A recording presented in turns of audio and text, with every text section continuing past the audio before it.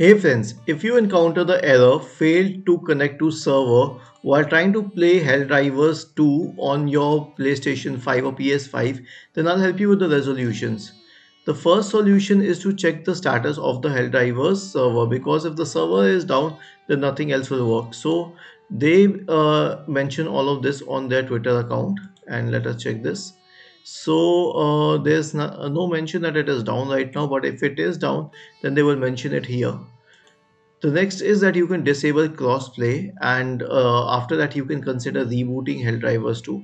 Actually rebooting Helldivers 2 has fixed a, lo a lot of problems.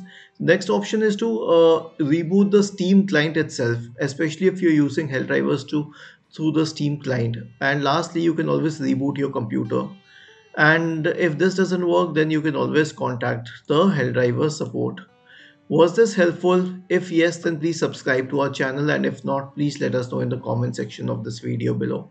Thank you for watching this video and have a nice day.